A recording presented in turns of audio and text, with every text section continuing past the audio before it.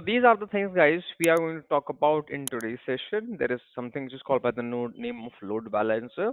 What actually a load balancer is, why it makes our life much more easier.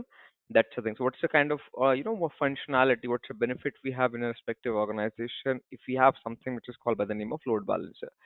Then we have something also uh, what is data state, different kind of data states we have in place. So we will talk about that as well.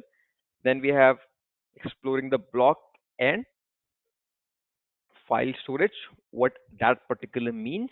And then we're going to talk about a very important service when it comes to the encryption in the particularly in the uh, in the GCP, right, which is called by the name of KMS, Cloud KMS. We're going to talk about in the context of the GCP. Fine, that's the kind of thing, correct. And then at the end of the session, we have a very interesting topic in place, very interesting as well as very important, which is called by the name of VPC, Virtual Private Cloud right? So these are the objective guys which we have for the day three in place. Perfect. But there are still uh, because in yesterday's session still some of the topics are still left, so we will be proceeding ahead with those uh, topics that are left, right? And then we will move to the load balance all kind of stuff in place. Okay, great, perfect. So at the last time, yesterday's session, we were talking about machine family. Okay, there is something which is called machine family and machine type. We should be aware about what they means. So machine family means that different kind of a families you have in place, right? Okay. I will be showing you uh, because again we will do this particular practical. Uh, yesterday that I repeated that I did a particular practical where you're connecting using the RDP, but the problem was that many people were not able to you know understand it up. A creation of a server is the first step I would say. It's same thing like whenever you're starting up in the programming, the first thing you write is hello world, right? That's it. Any kind of a thing. That's that generally it's a routine. So same same way it goes with the cloud as well. So whichever cloud platform you are uh, learning it, the first thing you activity you will be doing it up into it is running up or you know booting up a server in place, right? Whenever you understand all the basic terminologies, basic criteria, what are the what are those critical components that builds up a server, right? Then you get up some sort of an idea that okay, how this particular ecosystem of this cloud provider really works.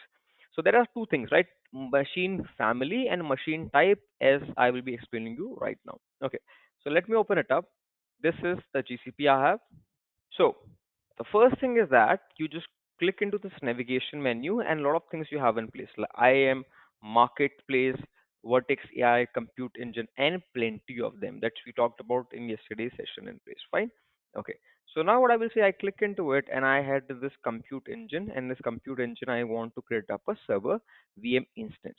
Another thing is that if you, let's say, for example, you want to just get up an idea about what kind of activity is going on, you click into it and see deleted the VM instance one seven minutes ago, created a VM one and its boot disk 36 minutes ago. So all these kind of a log you have in place.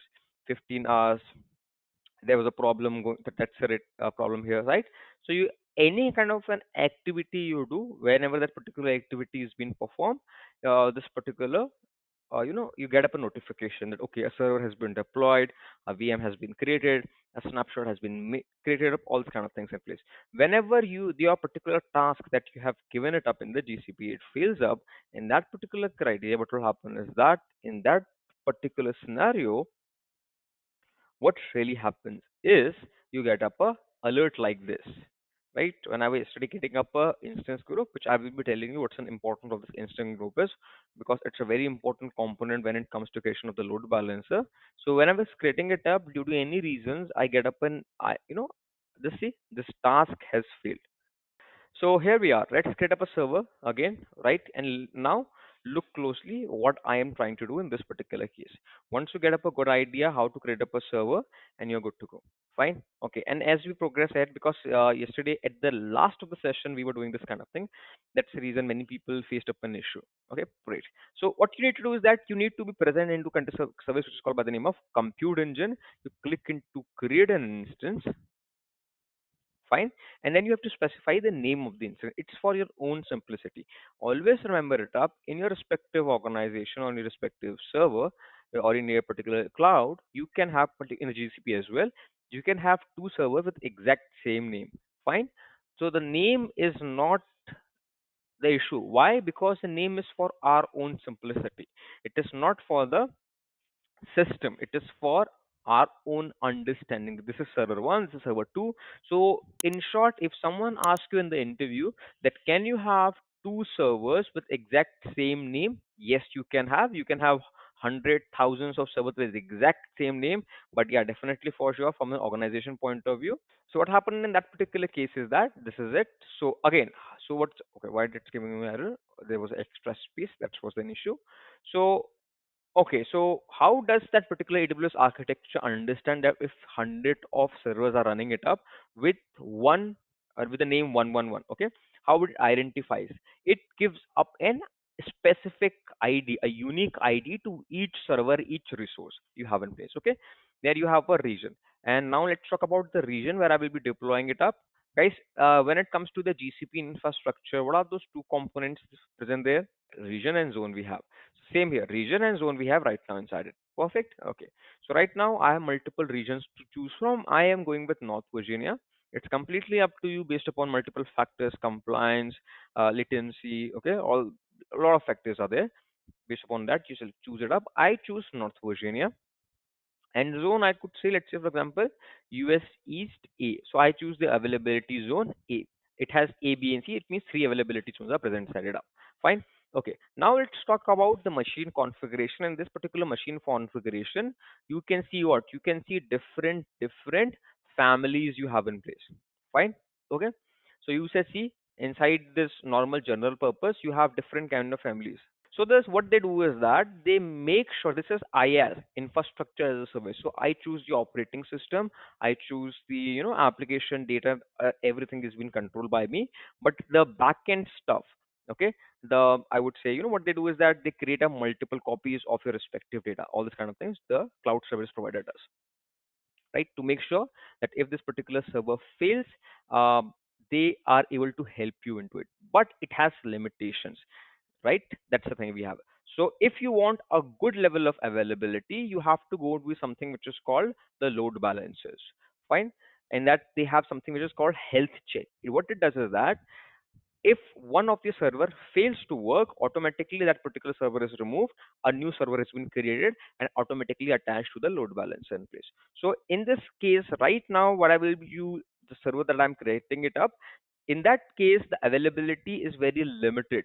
Okay, other than that, if let's say, for example, you want an automated system which keeps on automatically monitoring the stuff in the backend, what happens in that particular case is that you have to um, go for some some services in place like the load balancer in place, right, which has health check, which continuously monitors the performance, the health of your server, and if your particular health of the server deteriorates or it stops to work, what will happen is that it will eliminate it up. Okay, so let's stick with it. Fine, EC2. So this is the one we have the EC2. So EC2 is what? EC2 is a family, right? Let's go back to it. Uh, let me just see where you have the family. Right now we are talking about machine family. Machine means hardware part. Fine. Okay. So here we see this is the family. C3 is a family. C3D is a family. EC2 is a family. N2 is a family. Fine.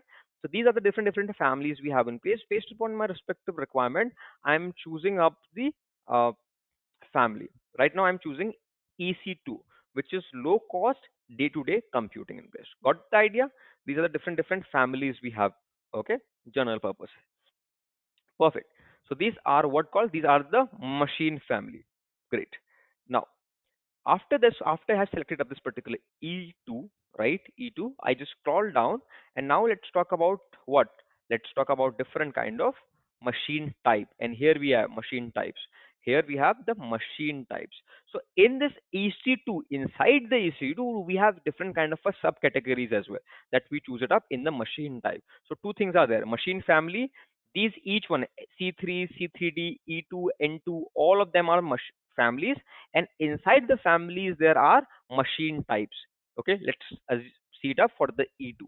So I click into this particular part and see shared one i have e2 micro e2 small e2 medium okay then you have e2 standard 2 e2 standard 4 e2 standard 8 so what they are they are your respectively machine type clear they are uh, present inside your family Clear? That's the case. I click into high memory. So now all uh, E2. So you see that all are E2, but they have different different role. Now, if I just say, for example, high CPU I want, see E2 high CPU 4, E2 high CPU 8. So that's the thing. What the idea? What is a family? This is a family. Let's say, for example, now I want to change a family. I want to change a family to T2A, which scales out workload. So I scroll down. Okay, it's not visible in this particular region. See, that's the reason, right? It's not available in this particular region or the availability zone. Fine. So, okay, so let's come back. Let's see if any another we have in place. Okay, N2 is there, balance pricing and performance. I click into it. Right now, here see N2 standard 2, N2 standard 4, N2 standard 8. So all these different different types I have present inside the family. Okay, there is a family with the name of N2, and inside it up you have multiple other members in place. Based upon your spectre requirement, you can choose any of the member. Same with the E2. So let's stick with the E2 part. And right now in the E2, I'm choosing what? I'm choosing E2 medium. Okay. Okay. Perfect. Now let's click with it. Okay.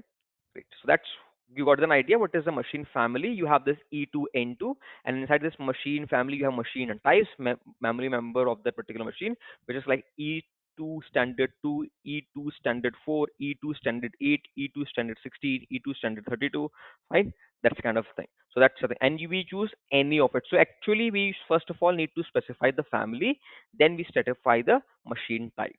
Okay, perfect. Great. So we have selected E2 medium, which contains of one core of CPU and 4 GB of RAM in place. Great.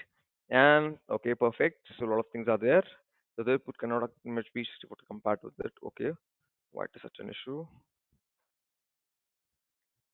North Virginia, zone is one. If this kind of errors you get it up, random errors, fine. The root disk architecture must be 64 to compatible with the machine type. You click into it and look, looks, let's look, so advanced configuration. Uh,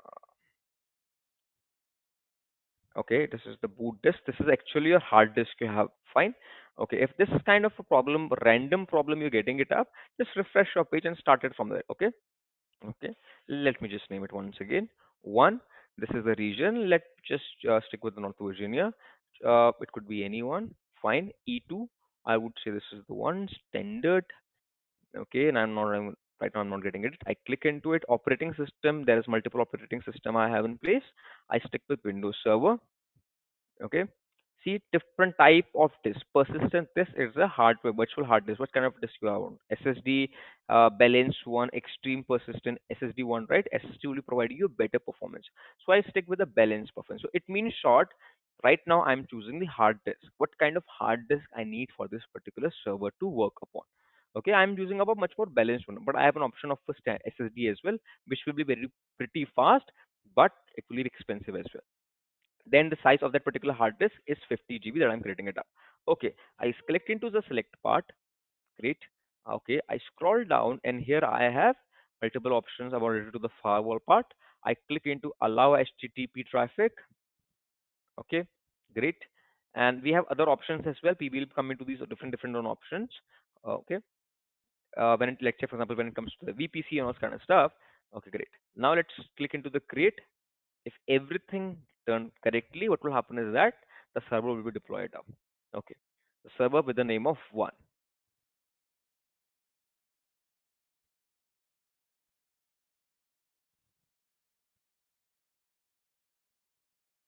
So guys, this particular server is being in a process of deploying. Perfect. So it's now working fine. So guys, as you can see up, when the server is there up and running, you refresh it up and you get two things internal IP or external IP. So internal is the private IP and the external IP we have is the public IP. Okay, so yesterday what we did is that we kind of did a very small demonstration. We will be doing that same thing today as well to show you how to do about a static IP. Okay, great, perfect. So now let's connect to it. Let's host up a web server into it. Let me show you how to do that. What you need to do is that you click into it. Fine, it says this particular part Uh, two things here. One thing is that if you are a normal Windows user, you go to your search bar, type RDP, and there you put up the username, password, and this particular thing. Fine. Other thing is that if you do not want to do that particular part, you click into download this RDP file. If you are using a third-party client, I click into it. Even if I'm using up a Windows system, but still I use it up. Okay. I click into it, and this is the pop-up that I get it up. Right. Automatically, it has selected my IP address, my public IP of my server. Fine. Okay. So you have two choices how to do it. This is where it is. Now it's connecting. Okay. A error has right now I'm getting an error. Right. Okay. Don't worry. Anytime you face up an issue related to errors or anything like that, read the error. And sometimes the errors are due to technical issues, which is not your respective fault. So what will happen in that particular case is that wait a minute, give it a minute. I would like to give it because this is giving me an error. I would like to wait at least two minutes more because when you are launching up a VM, a lot of stuffs are there. Fine. This is the rule of troubleshooting. Always remember it up, particularly in the cloud, irrespective of the cloud vendor. So whenever you're creating up a thing, deploying up a stuff in place, always remember whenever you're doing this kind of a thing in place, right? Sometime, uh, you know, things, a lot of things are doing on in the back end. So just give it a minute, right? Okay. So let's give it a minute or two to settle down the things in the back end. And then what we'll do is that we will again proceed ahead. If I still get up an error, what I will be doing is that because I have done all the configuration correctly, I will be removing this particular server and creating up a new one in place. Okay. So let's refresh it once again. Perfect. Now again go to the Trill RDP. Click, click into this particular, okay, everything looks fine in this case. Connect to it we are connecting and see this is the thing we have get it up right okay that's the reason. See i have not done any kind of a modification. Previously i was getting up an error. Fine. Now no problem. Automatically in the previous part just before it within few minutes back automatically the rdp connection was already terminated saying that some internal errors were there. Internal due to some internal issues you're not able to connect it. Now automatically the problem is also just give it a minute to breathe it up. Okay? Perfect.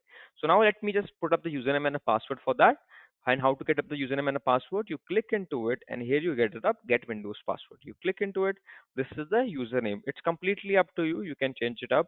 Even after after as well as well you can change it up for the security reasons okay? I'm sticking with it. You click into the set fine so this is going to be my username.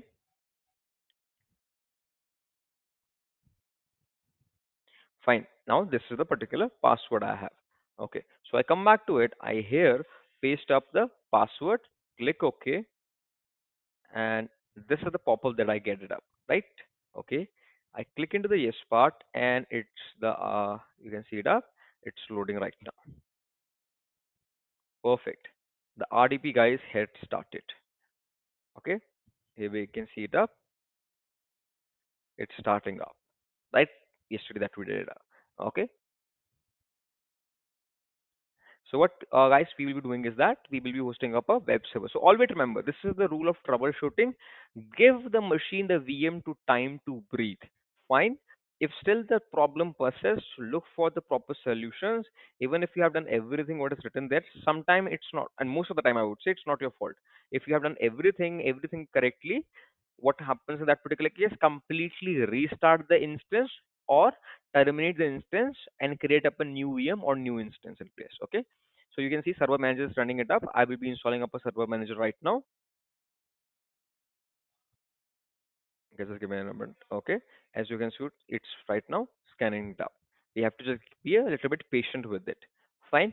Why it is so? Why it's going to take up a time? Because guys, remember the hardware configuration. We are going to use it up. It's little bit uh, you know, it's not up to the mark. It's I would say it's it's pretty cheap. That's the reason it's taking up a time. Fine. Okay. So now what I'm going to do, I'm going to host up a web server. I click into the role and features, go to the next part, and I click into the next. I will be installing up a web server. See, web server I have in place. I select it, I add the features, and let's install a web server inside the server in place. I click into the next part, next, next, and you have installed it up okay? So we have started this particular installation of the respective web server. Fine? Okay. So let's wait for this particular installation to complete. It will take a minute or two right? Again, the installation completely process depend upon your hardware configuration because we because this is just uh, you know uh, just for the simplicity, just for the understanding, I have used a very small limited hardware configuration which has only two core of a CPU, so it's not such a powerful machine. But yeah, definitely when you're in your real environment, you will be using up a machine which could have 20 core CPU and all kind of stuff, which will be pretty pretty fast in place. So this particular installation would take a hardly few seconds in place. Okay, so it's all the game of which kind of hardware configuration you choose. But remember, the better the performance, the better the price would be. Okay, the higher the price. So if the things gets completed, processed in within few minutes, it's definitely for sure you're going to pay a huge price for that. So that's thing. So you should be aware about those kind of a scenario. Where to go for high end performance, where to go for mid range, and where to go for low end. So for this particular session, I have selected the low end in place. Fine. Okay, great. So let's wait for it. It's still installing. Fine. So you can see the feature has installed into it. Fine. The installation has been taken place. Perfect.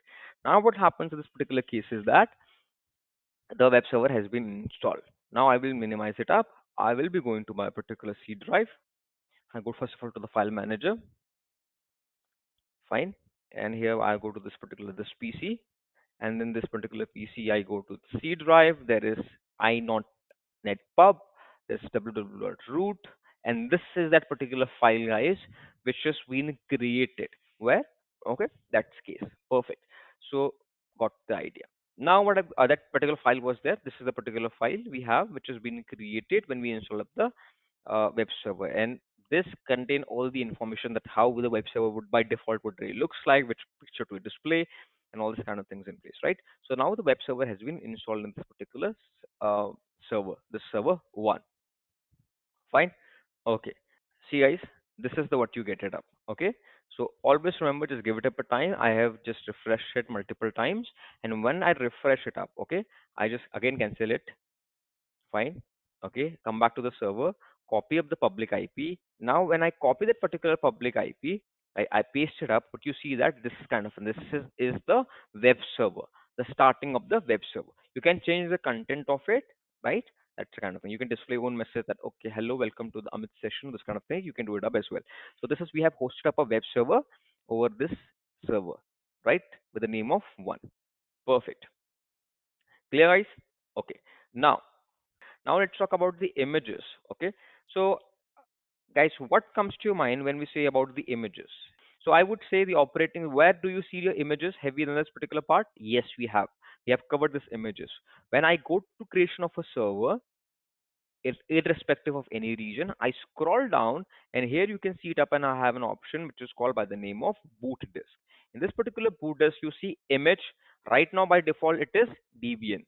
Okay, I can change it up. I can change it to Windows Server. So all these things you are saying it up, Debian, Fedora, okay, Rocky Linux, Ubuntu, Ubuntu Pro. All these are what? These are the images you have in place, the operating system. I'm using it of the Windows servers.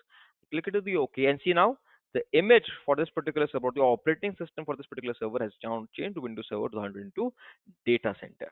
Okay, so image is nothing. It's like your operating system. You go to the boot disk, click into it, and now you have this operating system or the image. Clear? That's what it means. Perfect. Now uh, let's understand what a custom image is. Fine. Custom image means that you have an operating system by default, and now in that particular operating system, what you're doing is that you are adding some stuff. You are making a little bit of a changes into that particular part. What I means is that before doing a hands-on thing, what I means is, let's say for example, this is a normal operating system which has been provided to me. Okay, listen very carefully and it's windows. It's hosting up a window. Fine normal. Now what happens is that as the day goes by i install some kind of an applications into it. So generally the operating system i was having was only windows purely windows. And after that i install it up some application. There is some kind of data present there. So what i have done is that now i have this op- image is what? It's an operating system custom means that I have added my applications into that particular operating system. It's same theory whenever you go to the market, right, and purchase up your brand new laptop, what happens is that very limited amount of information or the data or a file or folders are present inside it up. Okay? Very limited amount of it.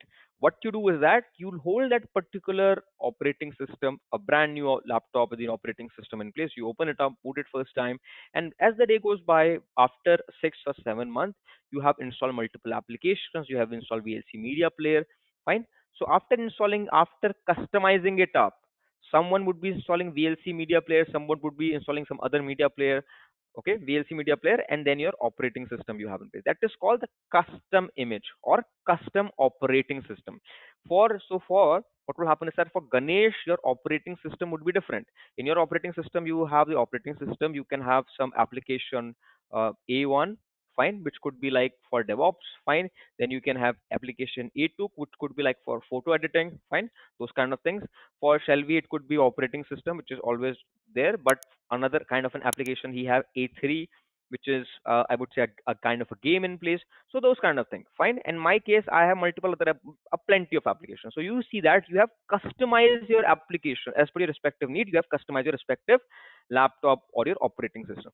That's what the custom image means. Custom means that you have made up a changes into that particular operating system.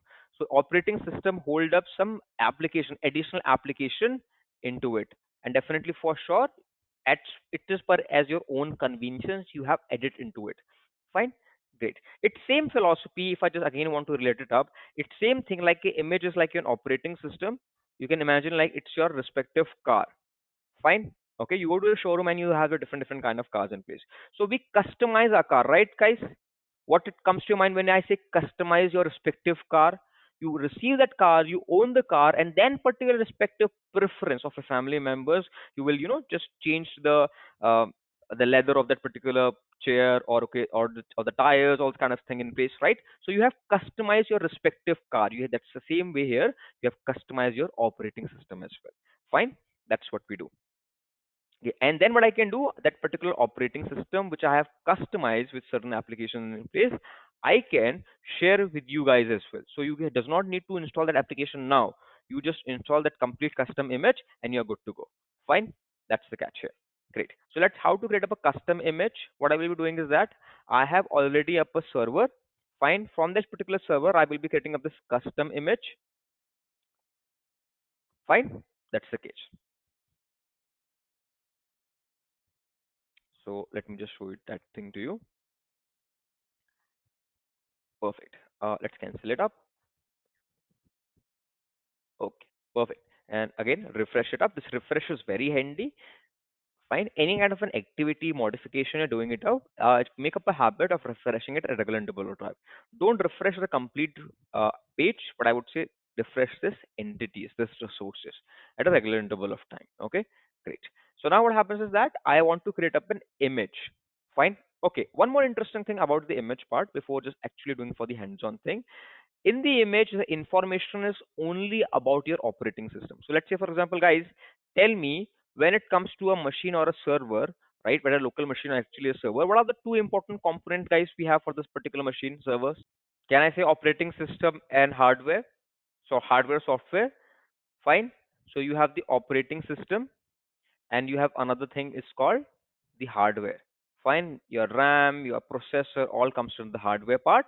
And another thing you have in place is your respective operating system. So what happens is that whenever i'm from this particular server i am creating up the custom image.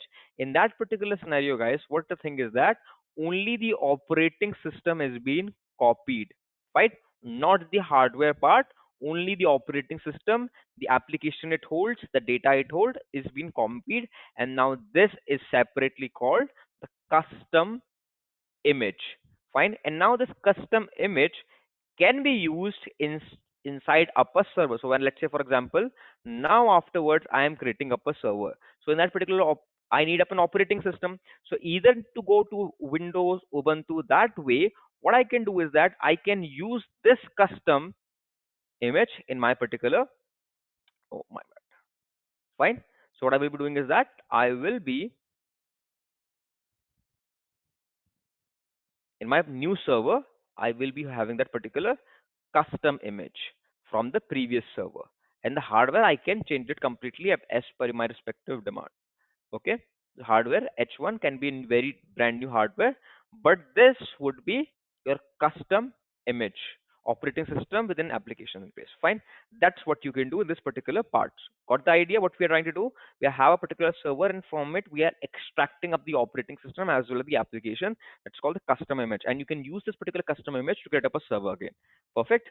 Great. Clear guys? Okay. So now what I'm going to do is that let's do it. Let's get it up.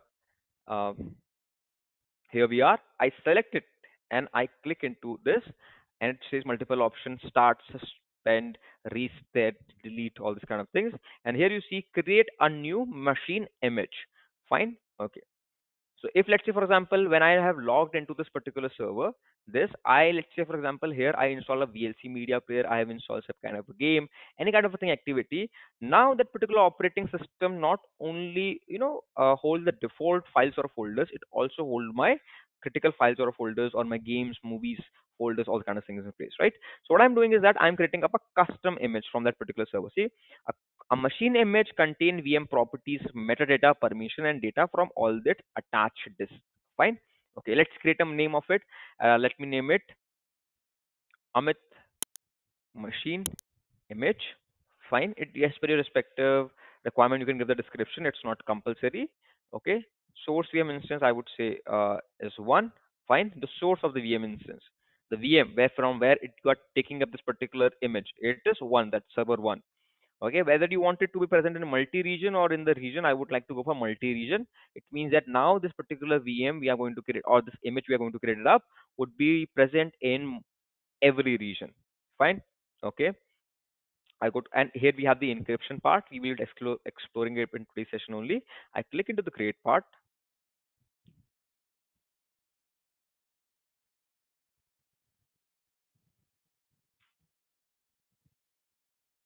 see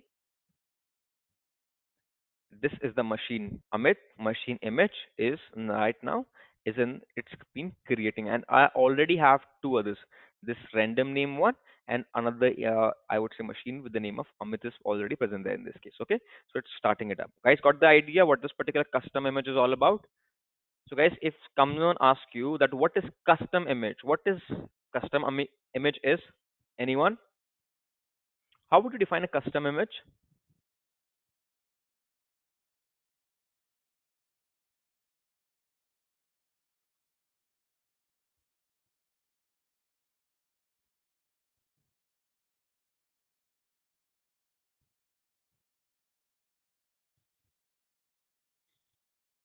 Custom image means that your operating system correct correct Shalavi, right? That is a custom of you have in place. So right now as you can see it up it has been created up. Now once it's been created i will be using it up at the time of creation of a server a brand new server. Fine? Okay. So it's clicking a little bit of a time. We have to be patient with it. Don't rush. If it i would say hardly it takes two or three minutes so we have to wait for it. In the meantime again i'm uh, drawing it for you. Fine that what actually we have done and we have again what we are going to do. So let's say for example this is the server one you have. It's still being created okay? So in the meantime this is the server you guys you have in place. Fine. Server first.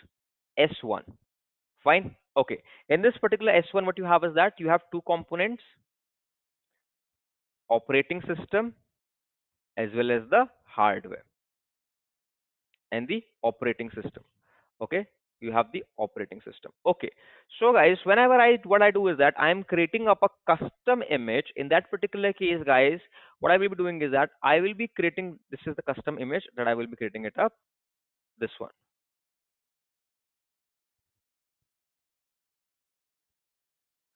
Absolutely ganesh. Yes you can do it up. Okay?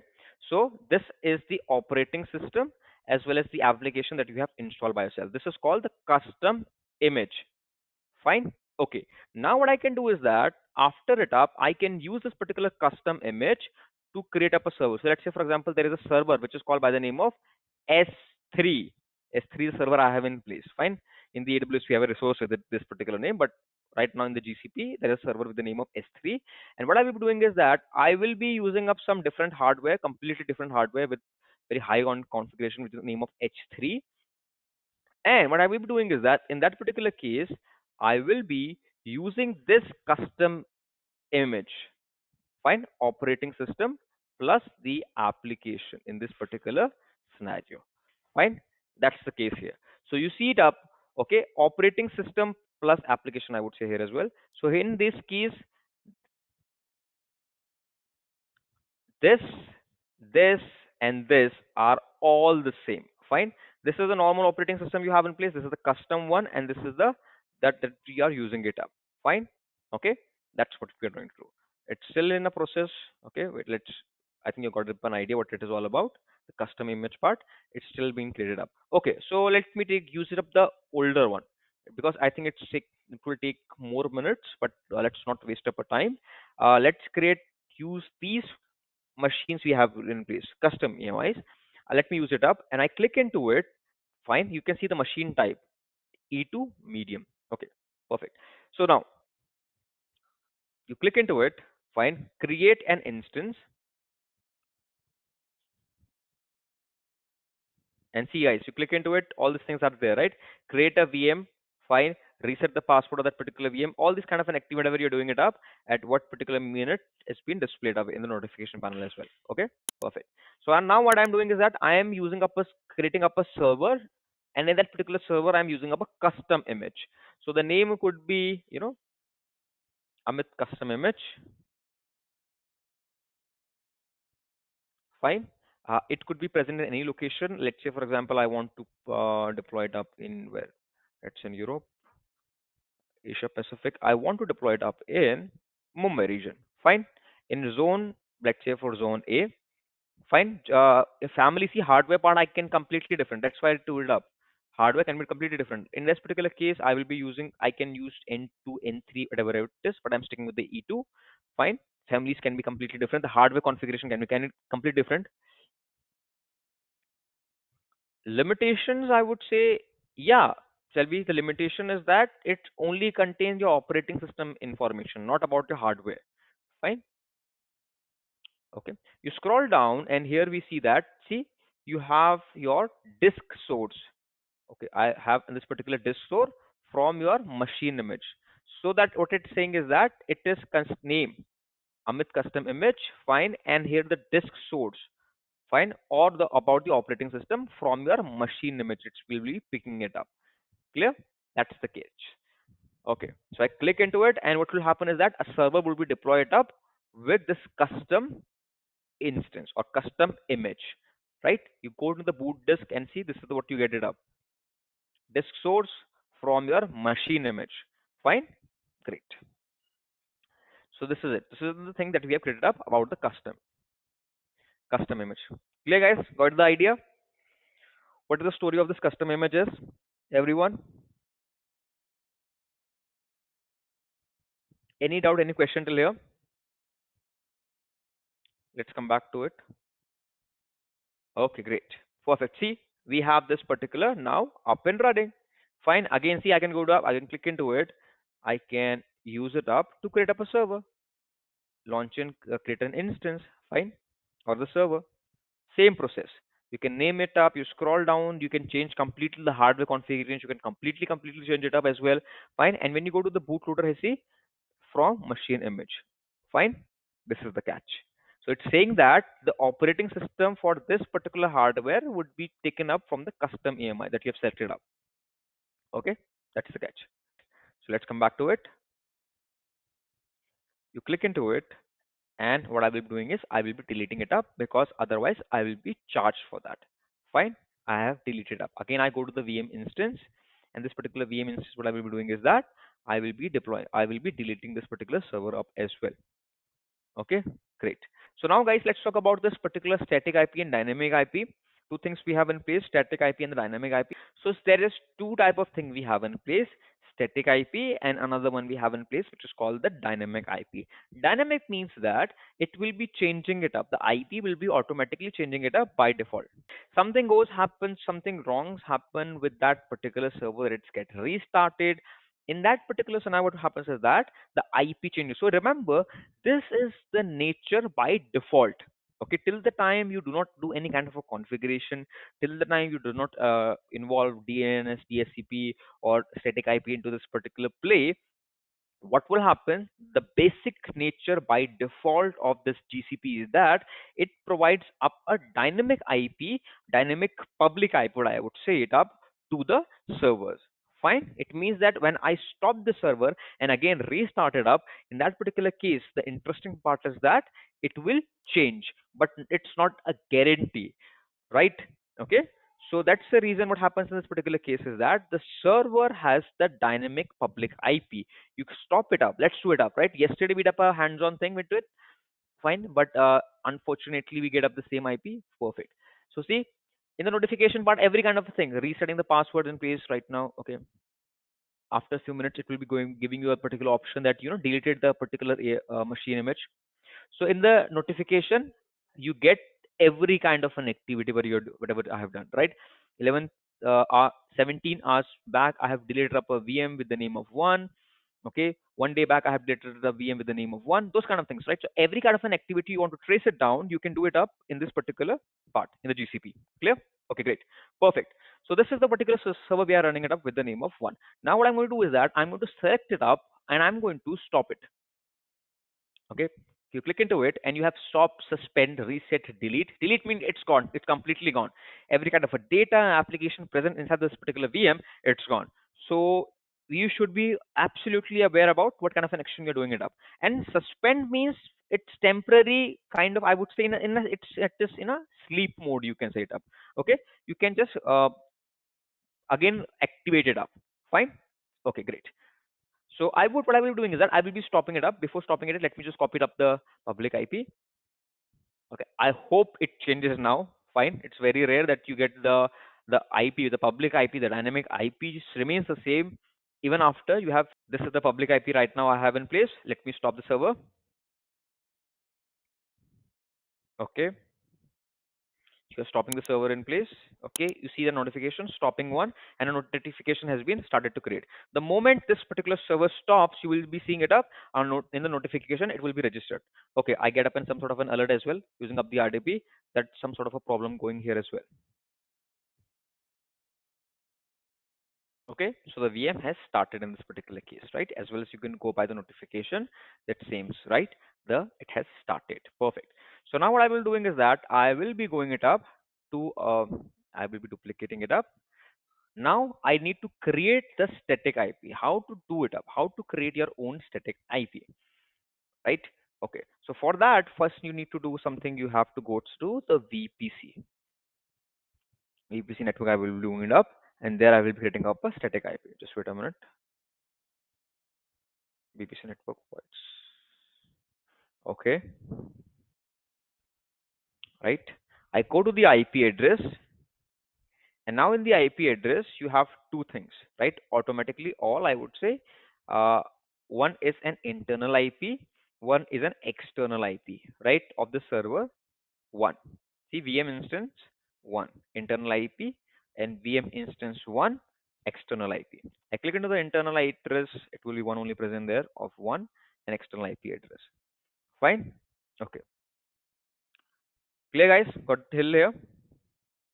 Perfect. Now here you see that it said reserve external static IP. I click into it. I click into the rest reserve a external IP in place. Okay, let's name it up. I would say um, Amit static address. Okay, a static IP I would say that are creating it up. Description is completely up to you for your own simplicity, but it doesn't change anything. It's just kind of a comment you have in place. Okay. Uh, premium, uh, yeah, I would like to put it up. Okay. And version IPv4 region uh, is global forwarding. I would say stick with the region, particularly I keep it. And remember, wherever you are creating up your static IP, it should be same region, same place wherever your particular server is already present there. So guys, where is actually my server being created? In US East for a North Virginia, Zone A. So that's where I'm going to create my static IP. So I will be going to North Virginia, North Virginia. Okay, now it say attach to. Where do you want to attach it up? I click into it and see it has selected one. If I just change the region, let's say for example, I go to um, you know, I go to Hong Kong, right? Okay. In Hong Kong, there is no server that has been running it up. I click to now attach to and say none. Fine. So keep this thing in mind that the static IP would be created in that specific region wherever you have already your target server running where you want to attach it up. Fine. So that's the reason I will be going it up to the North Virginia. I will be taking it up to the North Virginia, North Virginia. And now when I click into it, now it says uh, one. I select the one. Great. And I do scroll it up. I reserve it. Let me look into everything. Okay, reserve it. Fine. Now what happens is that now I'm assigning a static IP to it. Okay. Great.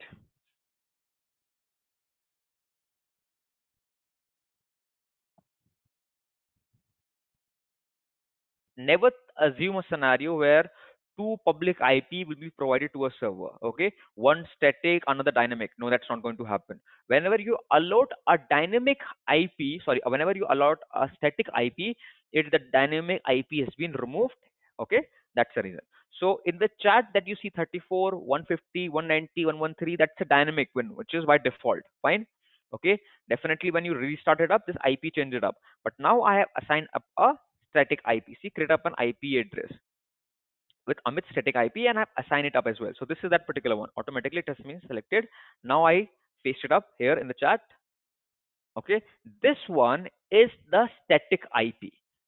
Fine. Okay. Now you click into it. Now what you do, you stop the server.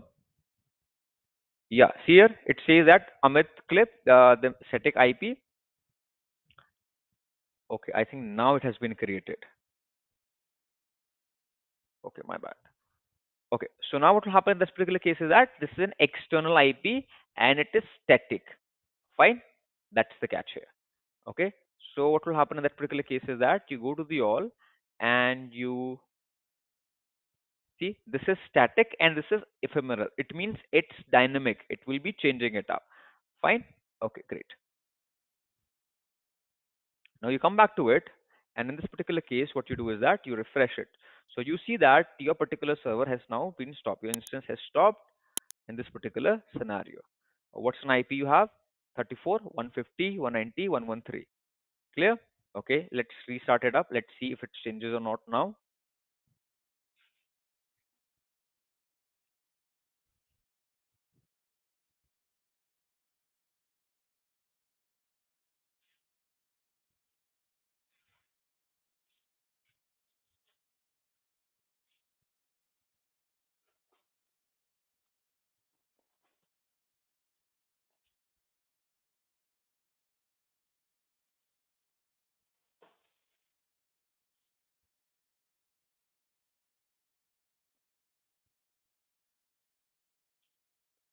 See guys, now in this particular case, the server is up and running and the IP is the same.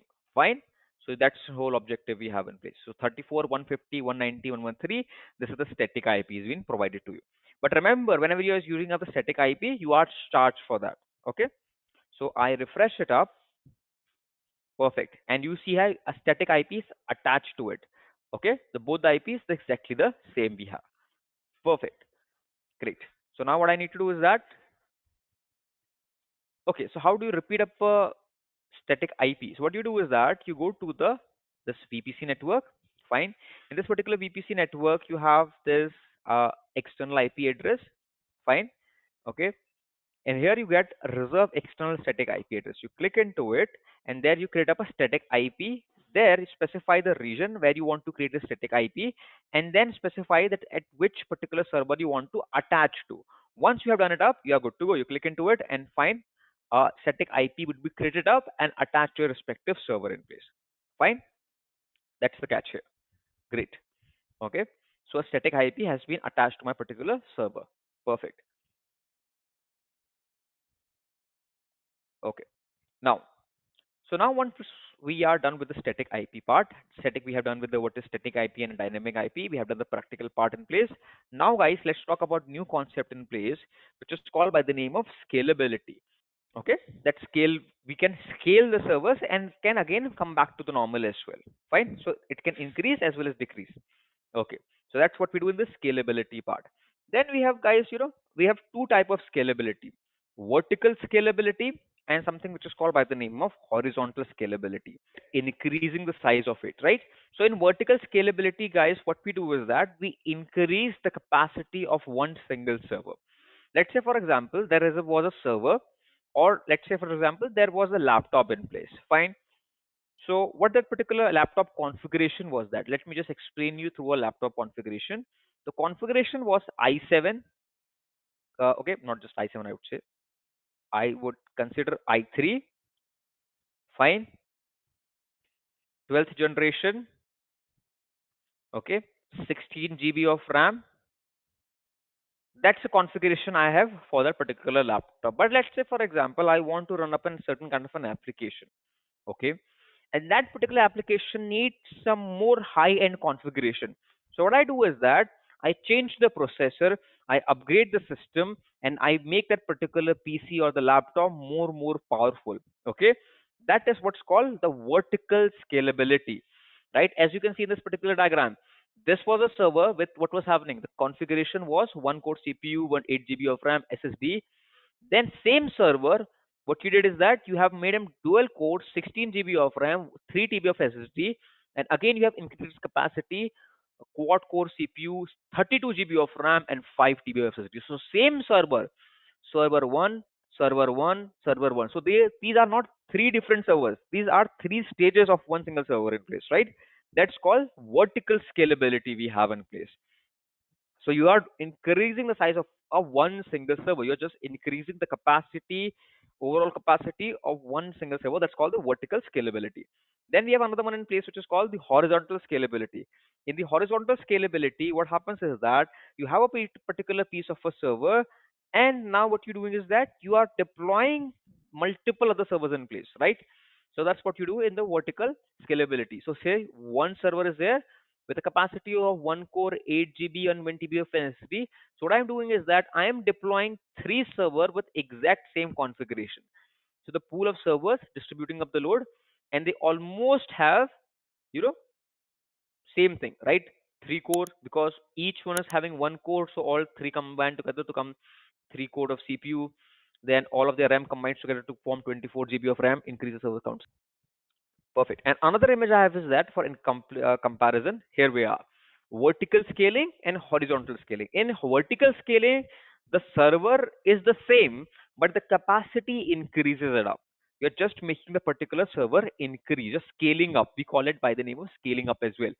In where, first of all, the capacity was this, very little, then you in, increase the capacity. So remember, these are not two different servers. These are the same server, but in different different situation.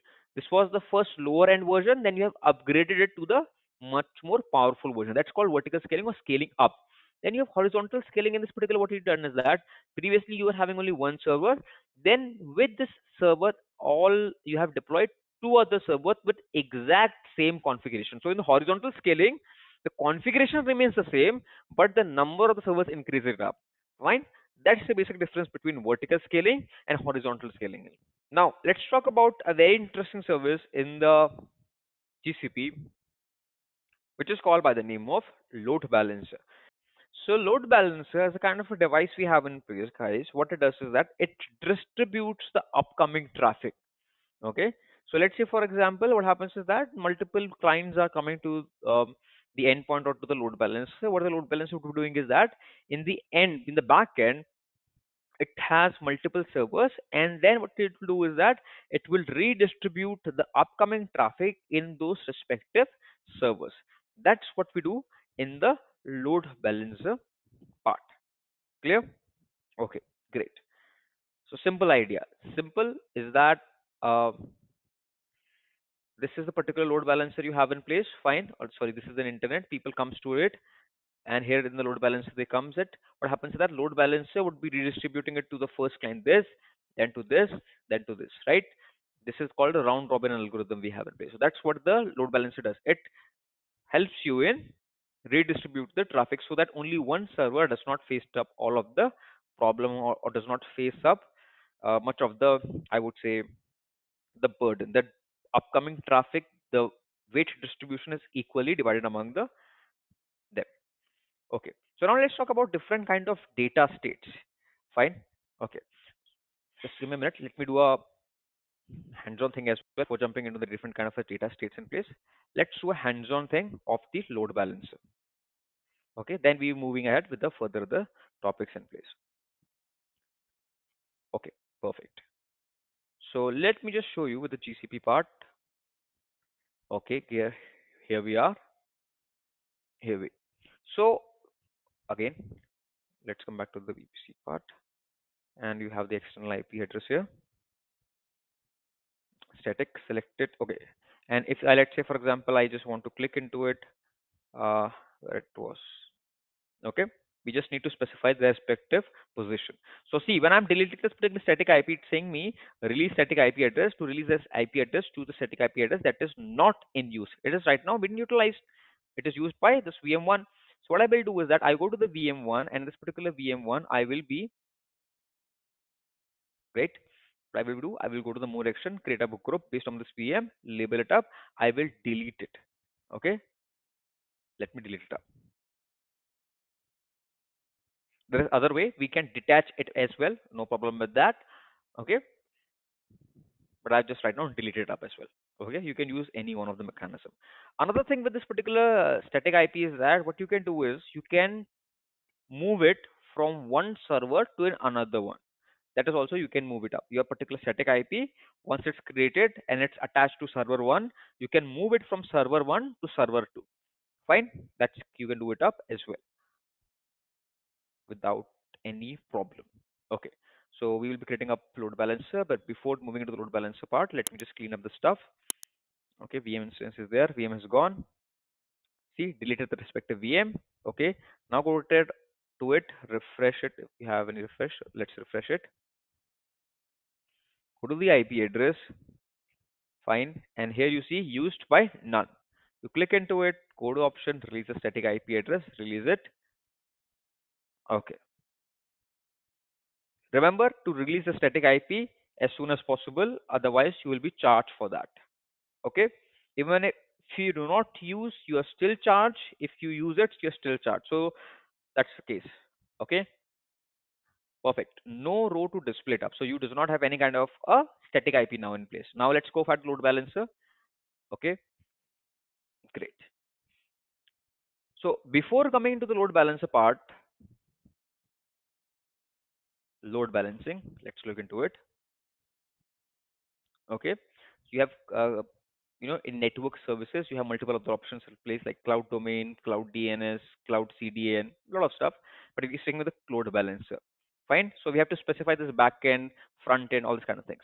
So what I do, I click into create a load balancer. Okay.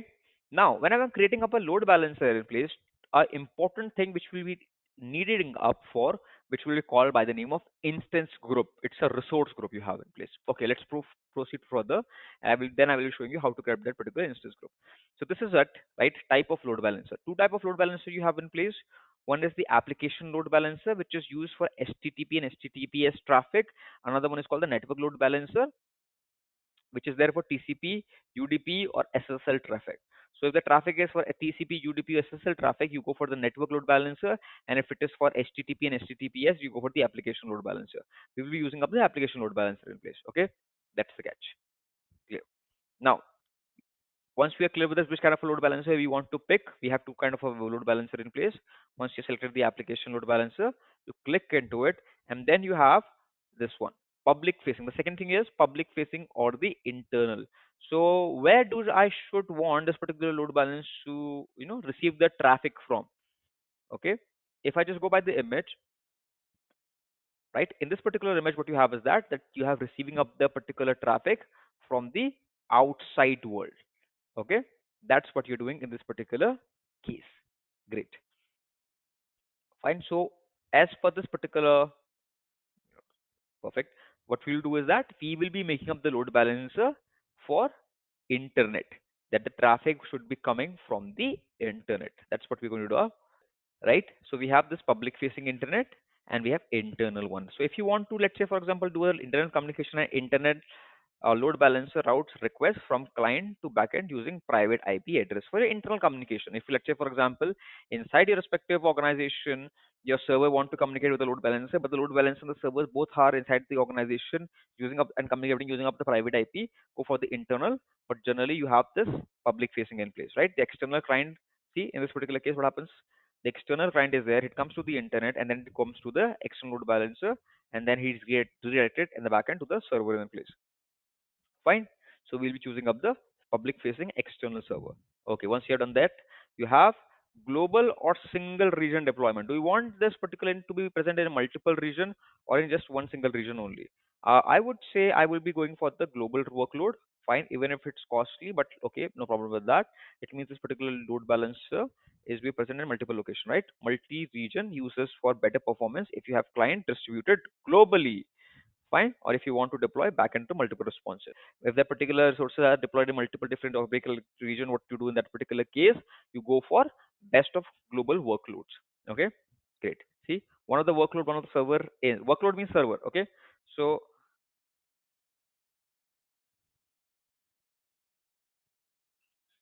so what happens in this particular case is that you have this workload. So what is this particular workload? Workload means guys the server right Clear? Clear the idea what this particular server is all about? In this particular part, what thing you have is that you have this particular workload in different different region. But remember, it's completely based upon your respective choice what you're using it up. If let's say for example your respective environments are putting it up in different regions, you go for global. If you it is present in same region, you go for uh, a specific region. Okay. If the servers are present in same region, you go for this one, the region one, and if the servers are present in different different regions, then you go for the global presence. Fine. Next, now click into the next part. Okay. Okay, wait a minute. What's it? Okay, let right now I'm the review part. Load balancer generation. Okay. Global external load balancer. Fine with it. Next. Yeah, create a load balancer. You're about to create up an application load balancer. Fine, it will be public facing and global. Great. Let's configure it up. Okay, there is another phase we have, will be looking into. We have these things we have to look for. Front-end configuration, back-end configuration, routing table, that's kind of thing. Okay. Front-end configuration. What is the story of this particular front-end configuration? Front-end means where from where this particular thing would be receiving of the traffic. It means the location about the load balancer. So in the front end configuration, you have to specify about the load balancer, IP address, its port number, fine. That's it. So it has two component. One is the front end, another is the back end. Front end means that which is that particular party load balancer, which is a particular load balancer who is going to analyze that particular traffic. Fine, that's the front end. Okay, you have to specify the IP address, the port number, and then you have the backend. These are the backend the servers that are present in the backend. Fine, then you have to specify that as well. Okay. Generally, particularly in the GCP, what you do is that you does not need to provide specifically uh, the server to the load balancer. What you do is that you create up something which is called something which is very interesting, which is called by the name of instance group. So you create up a group, you make this put to server part of that particular group, and then you attach that group to the load balancer okay? So whenever anyone make up a uh, attempt or a traffic or a concern to the load balancer load balancers go to the group and inside the group all the servers that are present there the traffic has been redistributed into them. Fine? That's what we have in this case. Okay. So we have to create something which is called the instance group in this case. Fine? Okay. Front end configuration. In this particular front end configuration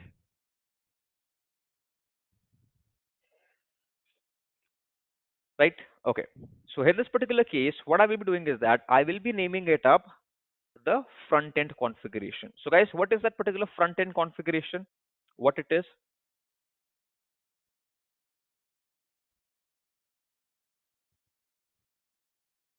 Absolutely right? Not request hitting the llb it would be the llb itself right? It would be the load balancer. We have to specify the load balancer in place right? The name of the load balancer all kind of stuff in place okay?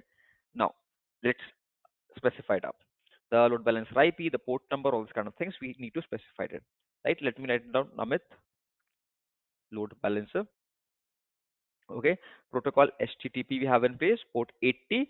there it from you know in this particular port 80 it will be accepting that particular traffic okay great so other advanced feature as well uh, other kind of time you know timeout features and other things we will do it as well you can specify the ip address as well okay it's complete completely up to you then you go for the backend configuration. In the backend configuration you have to specify the backend servers. I click into create a backend server. Okay. Now in the backend server right it's going to ask me the name. I would say xyz right? It's now asked me about the backend type instance group. I have to choose the instance group right? I have to choose the instance group in place. Other options are present there zone network endpoint uh, and other kind of thing in place but i will be for the simplicity using up the instance group in place. Fine? Okay. Now i have to create up a bucket. There is no instance group right? See in the new backend there is no instance group. So what i have to do is that i have to go it up and create up an instance group in place so what you go to the compute engine and here you have instance group you click into it instance group is nothing it's just a group and inside it up you have multiple servers in place so this is your instance group and inside it you will be having server 1 server 2 server 3 so whenever you attach this instance group to a load balancer, what happens is that the traffic comes to it, and inside it will go first of all going to this, then to this, then to this in case. Okay. What will happen in this particular case? We have to create up an instance group. Up, let's guys, let's stick with this particular practical. Okay. Yeah. So we have this instance group.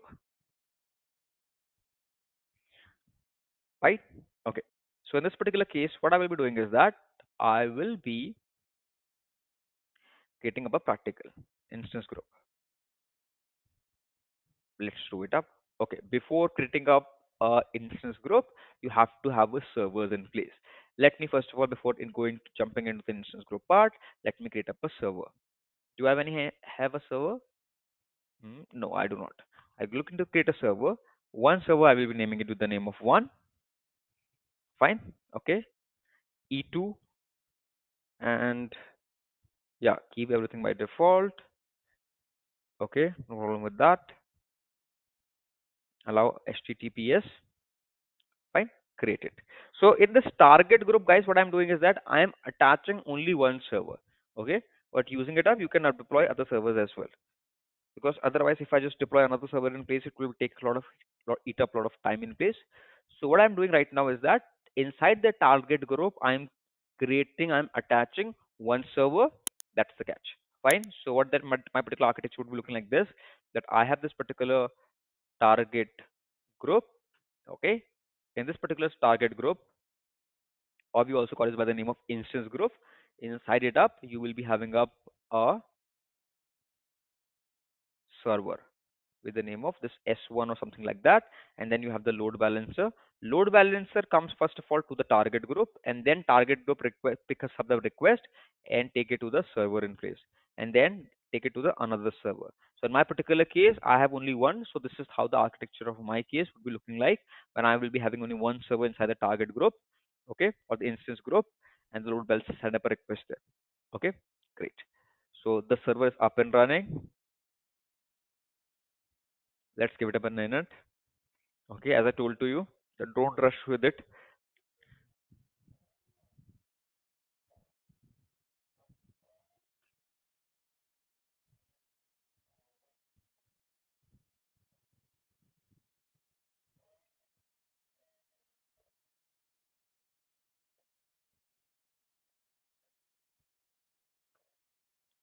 Okay, it's refreshing. Uh, and I think we are going to do it. Okay, great. So now what I will be doing is that I will be creating up a instance group. Fine. Okay. I go to the instance group, create an instance group. Fine. And now here what I will be doing is that I'm going to specify the instance group name. What it will do, it will be one, okay, or anything. Uh, XYZ, something like that. Or let me just write it proper name, Amit. Instance group. Okay, great. You scroll down, it's taking for the location. Which kind of location do you want this particular instance group? uh, I would say multi-region, fine, or single region. Then if you say single region, you have to specify it as well. In my case, when I have selected this, wait a minute. Let me just make a duplicate copy of this as well. You have the VM instance, and then you have the instance group. It is present in US Central 1F.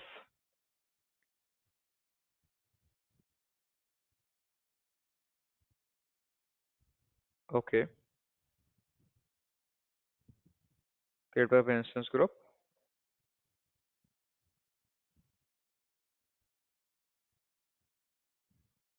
Okay, let's create up an instance group one. Okay, keep let's keep it up.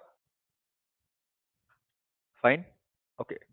Now uh, I would say the location where actually want that you want it up. Okay. So I would say single region. Region uh, in this case is US Central 1F. US Central vertex 1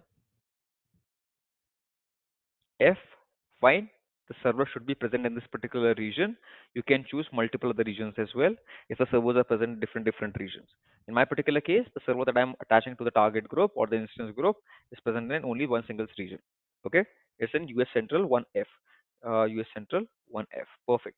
I do the auto scaling. Now I scroll it down and here I see a lot of problems of the auto scaling part. Okay, the minimum number of instances I have one, the maximum number of instances I can reach to is 10. So this is the minimum, this is the maximum, right? Okay, the maximum capacity. Great. So auto scaling uh, signal says you CPU utilization touch 60%, you create up in another server in place. Perfect. Okay. Now scroll down. In this particular case, what you do is that you can do auto scaling schedule as well. You can do period uh, installation, initialization period, a lot of other stuffs in place. Right. I'm just skipping it up. Okay. Port mapping and all this kind of stuff. Keep uh, update during VM instance repair. Yeah, let's keep it simple as well as possible. Okay, auto scaling, I'm enable it up. See this, what this means is that minimum servers you can have is that it's one, and then you have the maximum number of instances, it's 10. Right, this is the highest capacity the server will be able to go.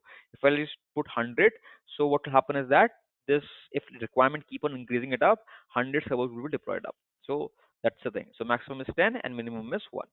Okay, great. Uh, you scroll it down. Perfect.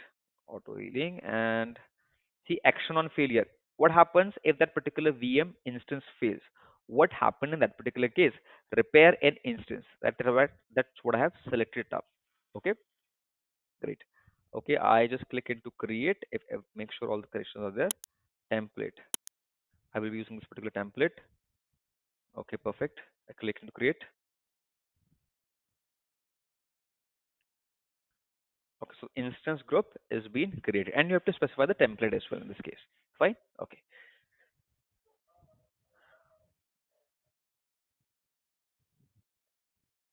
Uh, shall we have just another session after this? This webinar gets over. So sorry, I would not be able to extend it up.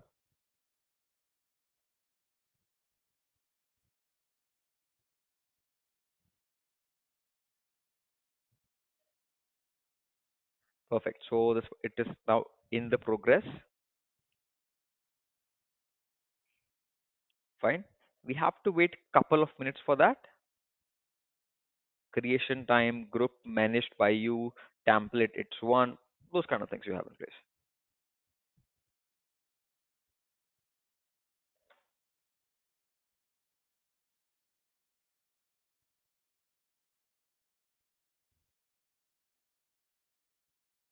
Uh, yeah, we can accept more than um, you can more than 10 we can extend we can extend it to 100 we can extend it to 200 it's completely up to you. But remember is that if let's say for example i have set it up to 100 and as a requirement keep on increasing it up now it has created 90 servers so you have to pay for 90 servers as well. Keep this thing in mind okay?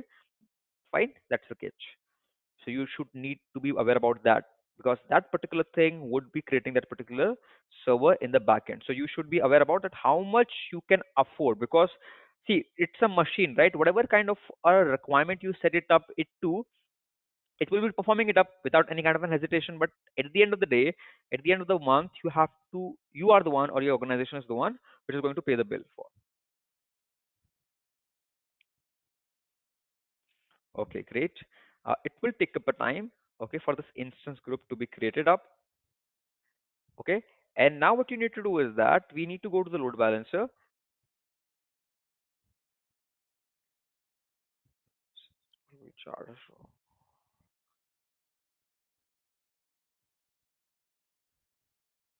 For the servers, you will be charged. You will be charged for the respective load balancer. You will be charged for your service creation of your instance group. For all of the activity you are doing it up, you will be charged for that. But remember, you get a $300 of a credit for 90 days. So whatever the charge would be, it will be deducted from that $300 into it. Okay. So what you need to do is that it will take up a time. Okay. At least I would say it will take 10 minutes for sure. Fine. You've already done five minutes. How to navigate to the backend? It's pretty simple. You go to the, uh, I would say, load balancer, and go here in the backend configuration. Click into the backend configuration. Fine. Click into it. Create a backend server, and here we are, backend server. You name it. Fine. And here you have to specify the instance group. Okay, instance group one. Okay, I think it's not on. See, that's the problem, right? How that sometime if you go at hip here and you see that instance group one, it is showing me right now. But when I go back to the instance group right now, it is in a process. Don't fall into this trap till the time you see a red, uh, sorry, a green flag. Okay, everything is fine. Do not proceed ahead, even if you are getting at this particular option. Because trust me, if I move ahead with the selection of this particular instance group, in the coming days or in the coming steps, I will be getting up in errors because this thing has not been configured. It's in a transitional phase. Till the time things are not okay here, I cannot move further, even if the option has been visible to me. Okay, that's the catch. Great. So you go to the load balancer. Okay, you have to specify it out here that particular load balancer part. Okay, US Central 1F. I think that's this is the one it, we have written it up. Yes. Okay and then you have to uh, nothing else then you have to specify this particular instance group and you're good to go then skip everything because all these things are very in much more detail like what is the ttl time to live how important it is right that's completely for a session i would say and you click into the create a load balancer would be created up okay that's it that's just how you create up a load balancer but for this instance group it will take up a time fine and i think it's getting up an errors as well failed to create up an instance group. Okay.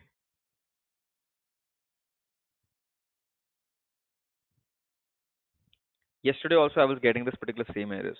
I tried it again and again, uh, you know, I was able to resolve it up. Okay. So same problem, no problem with that. Anytime you face up an issue, one single zone, I would be looking for that particular where it's actually my server located at US Central 1. US Central 1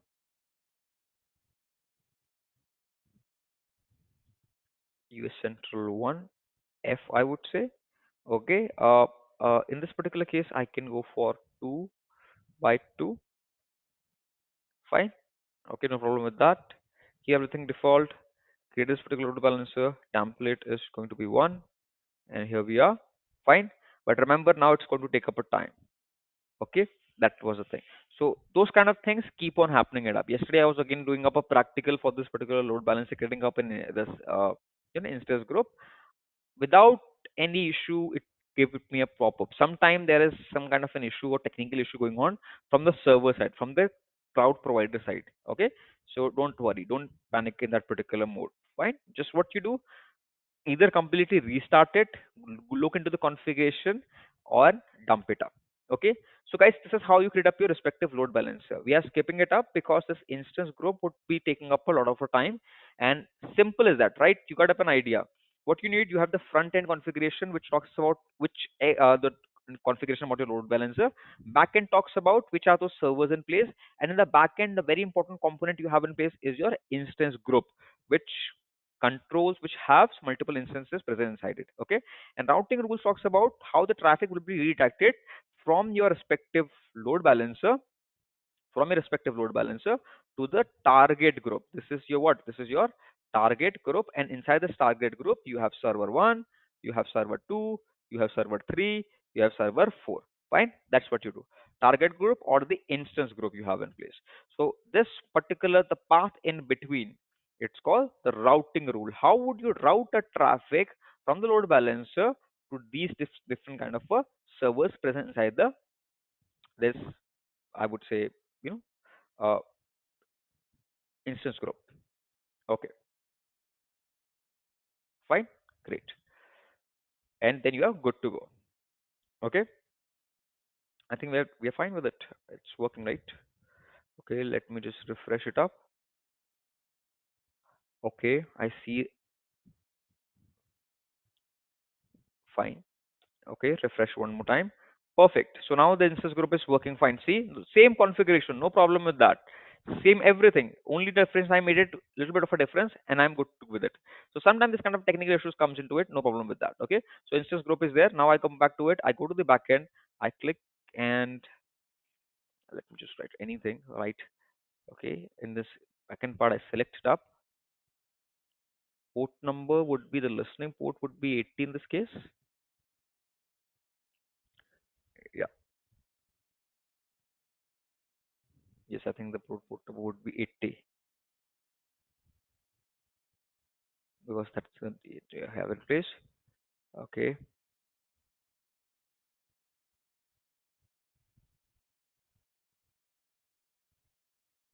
Perfect.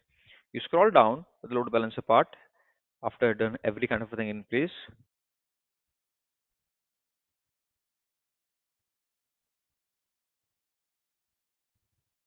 Just give me a minute, guys.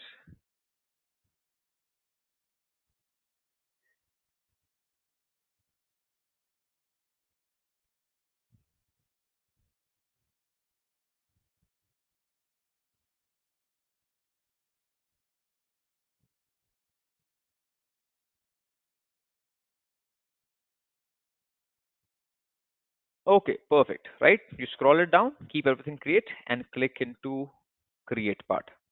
Make sure all the correct is okay. Let's into health check we have. Let's create up a health check as well. Let's create give a number name. Fine. Protocol proxy logs. Okay, protocol 80 has been there. Health criteria. I keeping it that check at every five second about the health of the server. That's what we're talking about in the health criteria. Defines how health is determined, how often to check, how long to wait for a response, and how many unsuccessful or failed attempt to uh, are deceived. Okay, so health check is all about it's kind of a feature of the load balancer for the servers. As I told you, multiple servers are attached to the load balancer in place. So this health criteria structures that what is the condition of those servers in place. So every five seconds, this particular thing would be checked. Fine, that kind of thing. So a lot of things are there. So, but this check interval means that every five seconds, this particular load balancer would be looking and giving you a report about the status of the load balance, the uh, status of the servers that is in there. Click on the save part. Here we are, and I click into it. Okay, okay, and I click into it load balancer name. What should be the name of the load balancer? I would say Amit load balancer.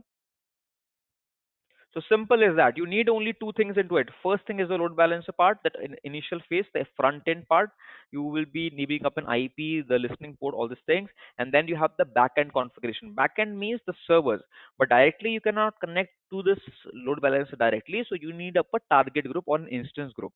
Instance group is nothing; it's a group of servers. Fine. So you create up an instance group, attach multiple different instances inside it, and then attach that particular instance group or the target group to the load balancer by itself.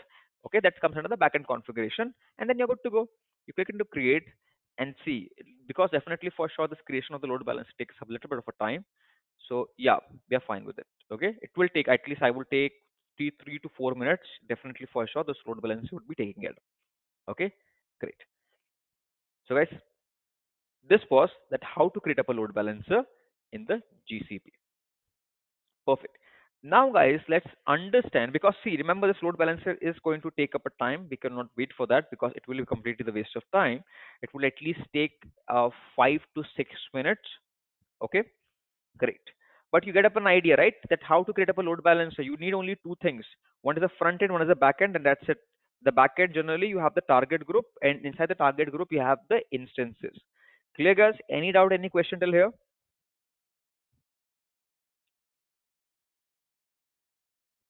Guys, what is target group or the instance group? What kind of things that the target group or the instance group hold? So the target group contains what? Or the target group or the instance group contains the server inside it up. And then you attach the target group to the load balancer. Okay, great, perfect. So see guys, okay, we have created up the load balancer. Okay, it was it was pretty quick. Okay, great. Here we can see it up. See, the load balance has been created up. Application load balancer external protocol. And a little bit of a notification I'm getting it up. It's an unhealthy because zero network endpoint groups are there. This is a thing configuration. Um, it's a kind of completely a different configuration we have in this particular case. Fine, but this is the load balancer is present there. Perfect. Now, guys, let's talk about different kinds of states of data we have in place. We have the data at rest, data in transit, data in use. The stored data, the resting data, the data which is in a resting state we have in place. Okay, that's what we call the data at rest. And the best example of it, so data at rest means that particular piece of a data which is not being utilized right now. It is just lying sitting up there. That is called the data at rest. It's not being utilized. It's not being processed at all. Then you have another kind of a state of data which is called by the name of data in transit. Okay, how, uh, how many different kind of protocols? What are the very famous protocols we have in place to protect the data in transit? The data in transit talks about the movement of the data from one end to another one, fine, or one from one place to another one. Correct. HTTPS protocol we have in place, fine. So what happens is that using the using up that particular protocol in place, you can encrypt the piece of an information and using it up, it will be moving from one place to another one. So what's the benefit? If the data has been encrypted and it's been moving from one end to another one, if the hacker in between captures the packet, captures the data, what happens is that in place is that in that respective scenario, your respective data would not be able to be accessed by the attacker in place. Fine. That's what happens in the data in transit. Then you have another one in place which is called by the name of data in use. So this particular data in use means that the particular data has been utilized. Fine. Okay. Let's say for example you are watching up a movie. So what happens in that particular case is that the data from your respective hard disk is going correct, right, to your RAM to your CPUs in place. So it's been putting into that. So your data is being utilized. It has been processed. It is time on the CPU and it has been utilized in place, right? So that's the case. Absolutely. The data getting processed. It is sitting right now in your RAM, in your respective CPU. That is data in use. So we have these three very important stages of data. Okay great which is very very important we need to have a very good understanding about these three different stages of data because as we progress ahead in the session we have something which is called by the name of you know encryption and because in order to incre- understand encryption we need to have a un- good understanding about different kind of stages we have for the data. Because another concept we have which is called by the name of kms in the gcp that how using this particular KMS, uh, sorry, the, yeah, KMS, you can create your own key and encrypt the data. So the next topic, guys, we have in place is called block file and uh, block storage and file storage as well. Okay, so this is the topic we will be covering up, guys, tomorrow, right? So, guys, this is for today. Tomorrow we will be exploring from this block storage and file storage and tomorrow we're going to explore about kms as well as we are going to talk about different kind of database and iam identity and access management in the gcp how it really looks like okay guys clear with it so guys this was for today's session thanks everyone and let's meet tomorrow